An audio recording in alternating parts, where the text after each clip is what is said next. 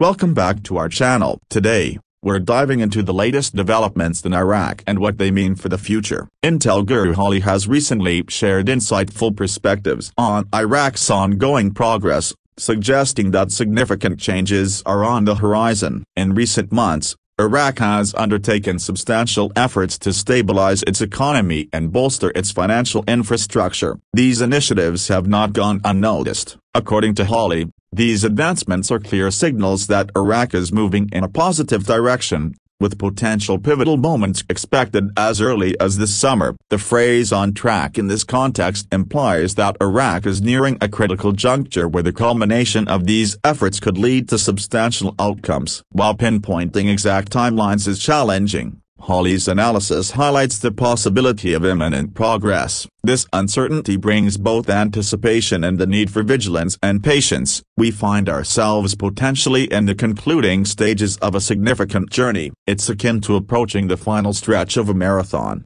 where maintaining focus is crucial. The potential implications are broad-reaching.